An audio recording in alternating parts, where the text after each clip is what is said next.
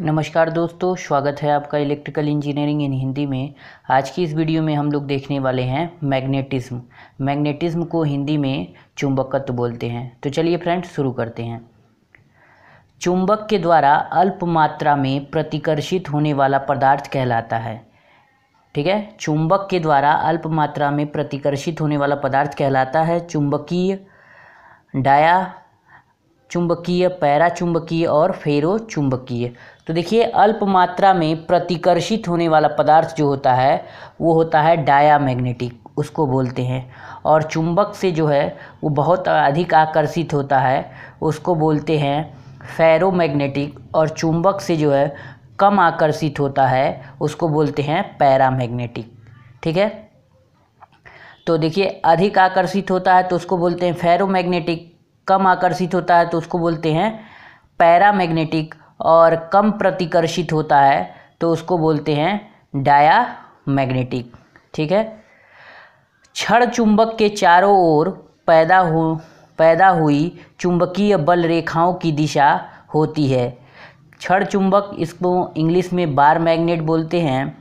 इसमें पैदा होने वाला जो है चुंबकीय बल रेखाएँ जो होता है उसका डायरेक्शन पूछ रखा है। ठीक है मैग्नेटिक लाइन ऑफ़ फोर्स इसका डायरेक्शन पूछा है। तो देखिए, इसका डायरेक्शन क्या होता है? छड़ चुंबक में एक एन होता है नॉर्थ पोल और एक होता है साउथ ठीक है, बाहर की तरफ़ देखा जाए तो जो लाइन ऑफ़ फोर्स होते हैं, यानी मैग्नेटिक लाइन होती है, वो नॉर्थ पोल से निकल कर साउथ पोल में, ठीक है, आती हैं और, ठीक है मैग्नेट के अंदर जो है वो साउथ से निकलकर नॉर्थ की ओर आती हैं, ठीक है?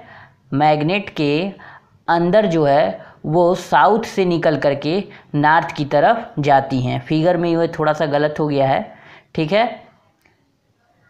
तो इसका आंसर जो हो जाएगा, वो हो जाएगा उत्तरीय ध्रुव से दक्षिणीय ध्रुव की ओर, यानी नॉर्थ पोल से निकल कर के साउथ पोल की ओर, ठीक है? ऐसा डायरेक्शन होता है बार मैग्नेट में मैग्नेटिक लाइन का, ठीक है?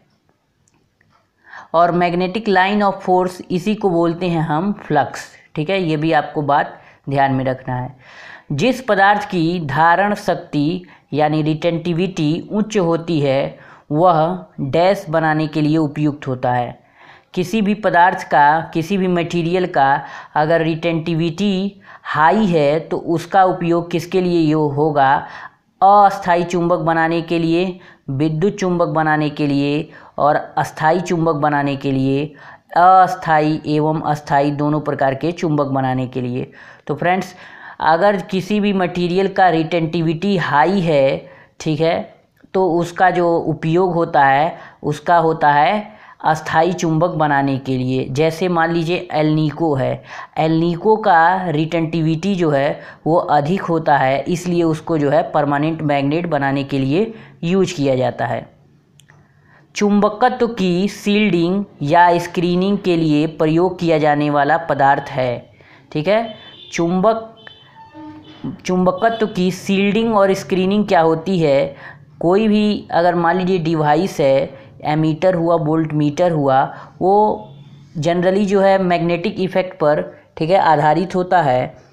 चूँकि अगर मान लीजिए उसको हम, मान लीजिए उससे हम करंट या वोल्टेज मेजर करते हैं, अगर वो मैग्नेटिक इफ़ेक्ट पर आधारित है तो आसपास मान लीजिए अगर चुंबक है या कोई मैग्नेटिक फ़ील्ड है तो उससे उसका जो ऑपरेशन है, वो क्या हो जाएगा चेंज हो जाएगा। इस वजह से जो भी डिवाइस है, उसको हम लोग क्या करते हैं उसको कवर में एक तरह से समझ लीजिए, बंद करके रख देते हैं ताकि उस पर बाहर का जो है, यानी एक्सटर्नल मैग्नेटिक फ़ील्ड का इफ़ेक्ट ना पड़े। तो ऐसे पदार्थ का कौन से होते हैं? उसका है स्टील, मृदु इस्पात, ठीक है? चुंबकीय परिपथ में प्रतिरोध के अनुरूप डैश कार्यरत होता है। परमियंस, रिलक्टेंस इम्पीडेंस कंडक्टेंस तो देखिए इलेक्ट्रिकल सर्किट होता है और एक होता है मैग्नेटिक सर्किट ठीक है? तो इलेक्ट्रिक सर्किट में जो करंट का अपोज करता है, उसको बोलते हैं रेसिस्टेंस और मैग्नेटिक सर्किट में जो फ्लक्स का अपोज करता है, वो क्या कहलाता है? रिलक्टेंस कहलाता है. ठीक है? तो इसमें पूछा है, चुंबकीय परिपथ में प्रतिरोध के अनुरूप क्या कार्य करता है? तो प्रतिरोध के अनुरूप जो है, यानी उसके एनालॉगस जो होता है वो क्या होता है? मैग्नेटिक सर्किट में रिलक्टेंस होता है। इसी तरह इलेक्ट्रिक सर्किट में कंडक्टेंस होता है और मैग्नेटिक सर्किट में जो है परमियंस होता है। ठीक है? इलेक्ट्रिक सर्किट में करंट फ्लो करता है, मैग्नेटिक सर्किट में फ्लक्स फ्लो करता है। इलेक्ट्रिक सर्किट में जो वोल्टेज होता है, उसको ईएमएफ बोलते हैं, इलेक्ट्रोमोटिव फोर्स, और ये जो होता है आई इंटू आर के बराबर होता है।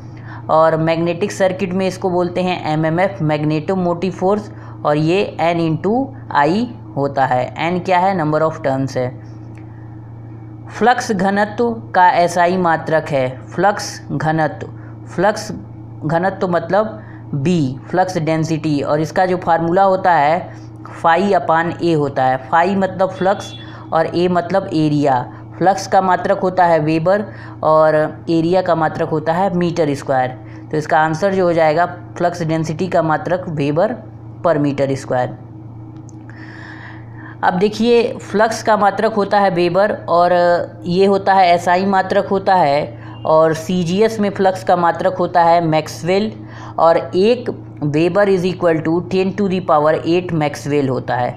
ठीक है?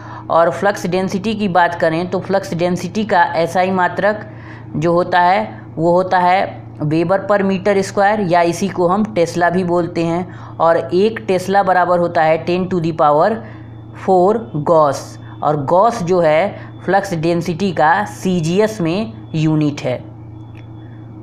निम्नलिखित में से कौन सा द्रव अनुचुंबकीय पदार्थ है? यानी लिक्विड पैरामैग्नेटिक मटेरियल है। लोहा, कांच, एल्यूमिनियम, निकील। तो देखिए, लोहा और निकील, ये जो हैं फेरोमैग्नेटिक मटेरियल हैं। एल्यूमिनियम हुआ, कांच हुआ, ये क्या है? पैरामैग्नेटिक मटेरियल है। लेकिन उसने पूछा है लिक्विड पैरामैग्नेटिक, चूँकि ये कांच जो होता है, वो लिक्विड फॉर्म में होता है, ठीक है? उसको बाद में हम उसको सेप देकर कांच बनाते हैं, ठीक है? जनरली वो लिक्विड फॉर्म में उसको होता है, ठीक है?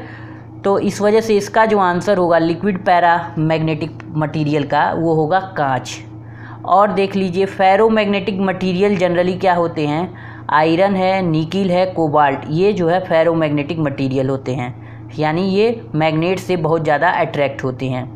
पैरामैग्नेटिक मटेरियल क्या है? प्लेटिनम एल्यूमिनियम ऑक्सीजन ये जो है मैग्नेट से बहुत कम अट्रैक्ट होते हैं। और डायामैग्नेटिक मटेरियल क्या है? Diamagnetic material carbon copper water plastic ये सब क्या है? डायामैग्नेटिक मटेरियल हैं। और ये जो है मैग्नेट से, ठीक है, कम रिपेल होते हैं। वैद्युतीय युक्तियों में से एक विद्युत चुंबक से उत्पन्न फ्लक्स को परिवर्तित करने का सबसे आसान तरीका है। ठीक है? अगर मान लीजिए कोई इलेक्ट्रो इलेक्ट्रिक डिवाइस है और उससे जो इलेक्ट्रोमैग्नेट से उत्पन्न जो फ्लक्स है, उसको चेंज हम करना चाहते हैं तो उसका सबसे आसान मेथड क्या है? सबसे सिंपल मेथड क्या है?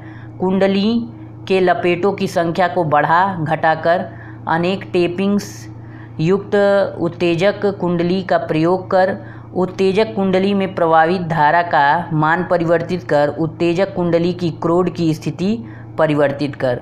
तो देखिए फ्रेंड्स फ्लक्स जो होता है, फ्लक्स का फार्मूला होता है N I by S S यहाँ क्या है? एस को बोलते हैं रिलक्टेंस जैसे इलेक्ट्रिक सर्किट में रेसिस्टेंस होता है, उसी तरह मैग्नेटिक सर्किट में रिलक्टेंस होता है।